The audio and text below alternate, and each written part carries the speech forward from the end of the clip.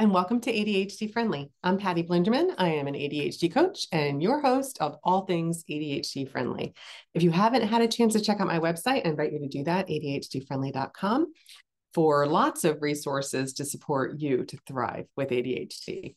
So, welcome, welcome. This is episode 113, 113. So, um, keep that in mind if you want to look up any of the resources that are shared in this podcast or you want to comment or share some thoughts, something you learned, something you tried, or another tip that our ADHD friendly community can use to support them with more ease.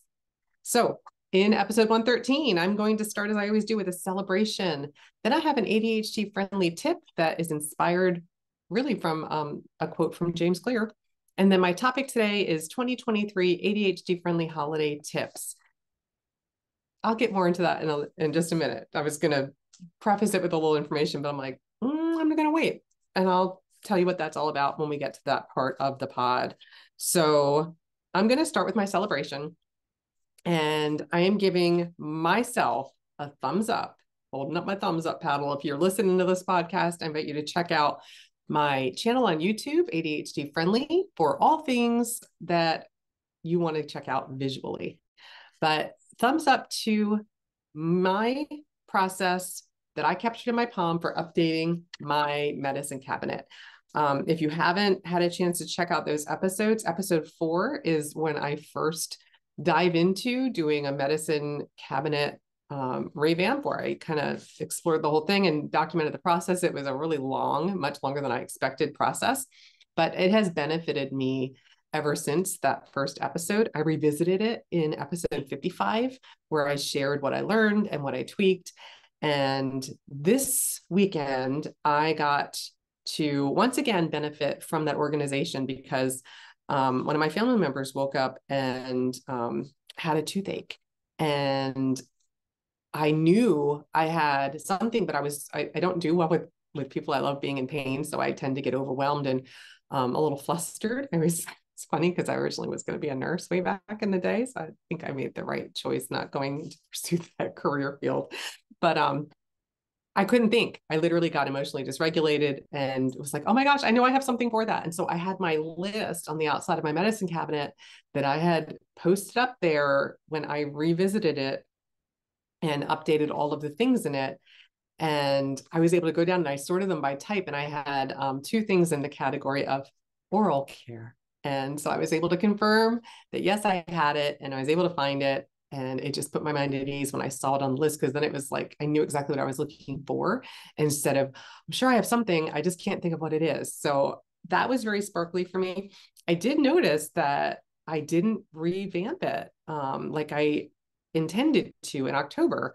Um, honestly, this conference this year has just thrown off a lot of my systems. And it's just one of those things that I want to notice for myself because I know when things take me out of my routine, my routines can fall off. And it was one of those things I observed. I was grateful that I had the list, but I noticed, hmm, I didn't update the list. So um, didn't do anything with that yet. Really haven't decided if there is anything I need to do. I did do a quick glance at all the expiration dates and nothing looks like it's expiring um, in the next really um, i can do it again next october like i'm planning to and that's probably what i'll end up doing. Thanks for letting me talk that through. I think that's what i'm going to do is just make sure it's on the calendar for october.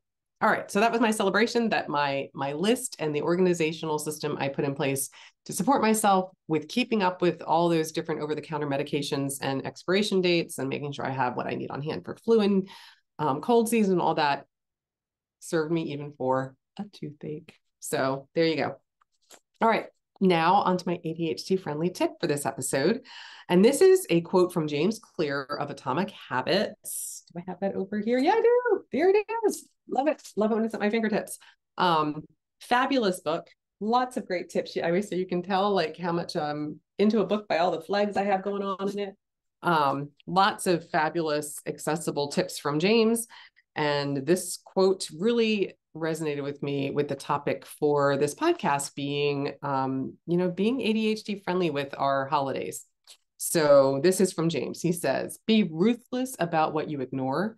Time, energy, and resources are so precious. You have to be ferocious about cutting your priorities, more than you realize, and certainly more than is comfortable. You can only deeply commit to a few things, one or two, maybe three. Every pretty good, sort of nice, kind of fun thing you abandon is like shedding a weight, shedding a weighted vest and lets you move at top speed. You were so busy focusing on how much you could carry, you never realized how fast you could run. Or I'm sorry, he said, you never realized you could run this fast. I did a little ad libbing there.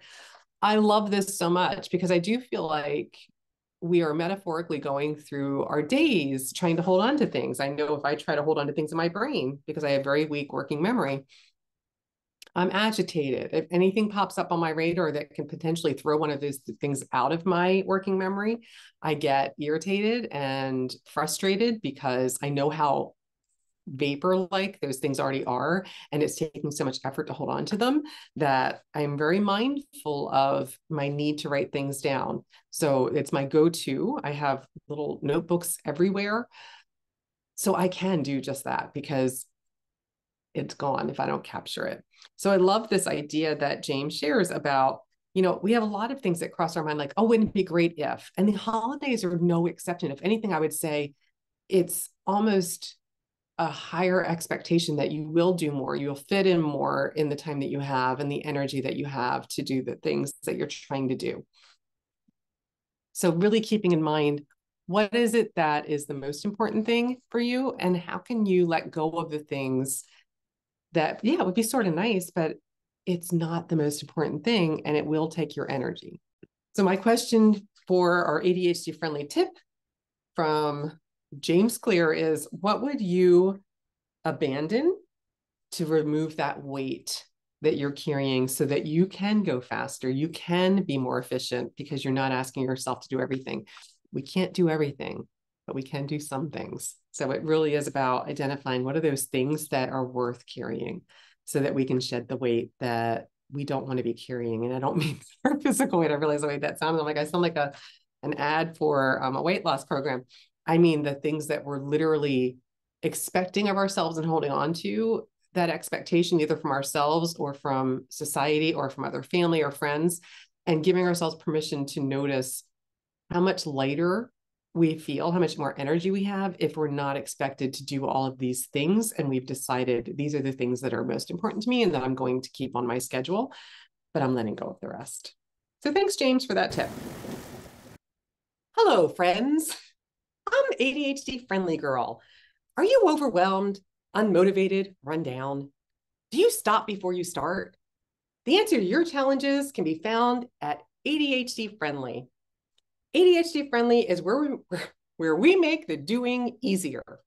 Join ADHD Friendly today and start tilting the playing field in favor of your ADHD brain and start thriving. ADHDfriendly.com, where intention meets action. All right, on to our topic for this episode, which is 2023 ADHD friendly tips for the holiday 2023 holiday season. So, if you would like to check out previous episodes where I shared um, additional tips that what I call them my tried and true repeats, I invite you to check out episode eight and episode 58. Episode 58, I talk about holiday tolerations, but I really get into kind of diving into what we kind of what I just talked about from the James Clear quote. What are you expecting yourself? What can you let go of? And how do you remember the things that you've decided are the most important for the holidays in your life? So what I always say, my my quote every holiday whenever my kids or my husband has asked me what I would like for Christmas, what I always say is all I want is peace on earth and goodwill towards all. That's really what I want. I've always wanted just peace and calm because it's just kind of elusive sometimes. So it's what I always most wanted, especially when my kids were little. I was like, I just want a calm Christmas. I just want a nice holiday season without stress or conflict. And so my tip that comes from that, uh, if that resonates with you, if, if having peace on earth, earth and goodwill towards all resonates with you, that feeling of calm for the holidays is something that you'd like more of in your holiday season, my tip is capture and observe.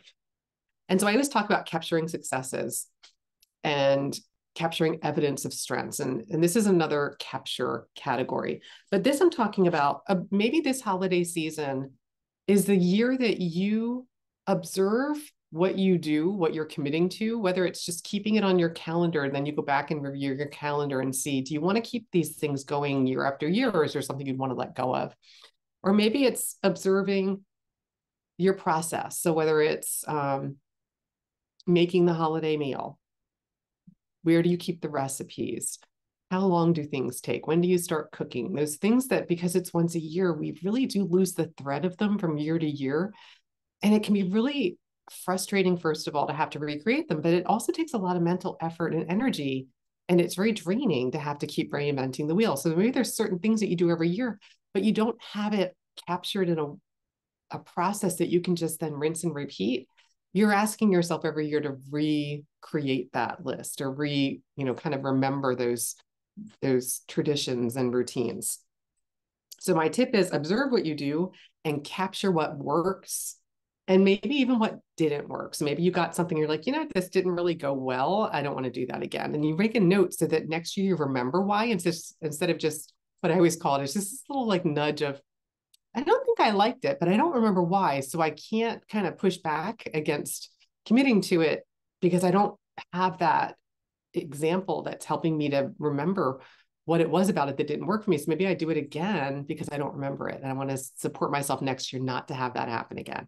So capture what works or doesn't. And if you know you will struggle to ca- struggle to capture things, maybe there's another friend or family member that will be around you during the holidays that you can say, hey, could you write down like the order that we do things on Christmas Eve or Christmas morning or um, whatever holiday you celebrate. If, if you're not celebrating Christmas, but you're celebrating Hanukkah or Kwanzaa, whatever it is that your family celebrates, if you know you're not that person to capture those details, there might be somebody else that that's one of their strengths. And it can be something that we're leaning into. This isn't my strength, but I'm going to ask you to capture the details in a neutral, non judgmental way. Just capture them. And then you can even say, Hey, could you write this down? Because I'm noticing I don't want to do this. could you make a note on the on the the master list, whatever you guys decide to call it? And then once you have that list, you've captured it in a way that you can now observe what do you want to do with it? You may not do anything until with it until next year. So maybe you tuck it in your personal owner's manual. For more on owner's manuals, I invite you to check out ADHD Friendly for some tips and even a, a mini POM to get you started. POM, Personal Owner's Manual. Um, again, what brought this to light for me was my husband asked me where all of the recipes were for for Thanksgiving this year. And he had gone through all of our our recipe books and these are all printed out or pages from magazines that we've you know kind of taken and used over and over the different recipes for the dishes that we make and as soon as i went to go start looking again where he had already clearly gone through and looked and couldn't find them i remembered i put them all in my POM in my personal owner's manual, which is a little bulky right now and needs to be curated a little bit, but it's full of like, oh my gosh, the most helpful tips. And so I, I remembered I had this little like clip holding all of the holiday traditions together and I just pulled it out and I had all of the recipes. I had my little um, timing spreadsheet. I shared this, I think last year, where I wrote down what we cook and what time it goes in and what the temperature oven needs to be set at and even who cooks it? So we could remember and oh my gosh it just works so much effortlessly. We don't have to kind of do that math and back up the time like if we want to eat it four we do this and then we had company come in and you know flights got uh delayed and so we could just literally adjust the timing based on the spreadsheet instead of having to do all that math in the moment. So it just made it so much easier. Because what i always want to say is when you capture it you have something to go from. And you know what one of my mantras is something is always more than nothing. So if you capture a few details, you then can build on it every year going forward because you took a, a beat, you stopped, and you captured it in a way that you can go back to and use again. So that's my tip for this year. Just capture and observe so that you're hopefully creating more peace and calm and connection in your family for this holiday season. All right time for my quote. This is from Excellent Advice for Living. One day I'll remember the name of this book without having to look at it, but I'm not there yet. From Kevin Kelly, who just has like a ton of um, just filled with little tips. Um, and this is tied to what we're talking about. So Kevin Kelly's uh, quote that I'm going to share with you today is this. He says, shorten your to-do list by asking yourself, and this is his quote, what what is the worst that will happen if this does not get done? That's it. And then he says, eliminate all but the disasters. Oh my gosh. Again, it goes back to what I shared at the beginning with James Clear's quote. What could we let go of to lighten the load, to make it easier to do the things that are most important to us? So, what is the worst that will happen if this does not get done? Excellent advice, Kevin Kelly. Excellent advice. Thank you for that. So, just a really quick recap this is episode 113. Be ruthless and identify your holiday priorities so that you can capture what worked, get it in your POM. Something is always more than nothing. You'll have it going forward to continue supporting your future self. That's it for this episode. Until next time, tally ho.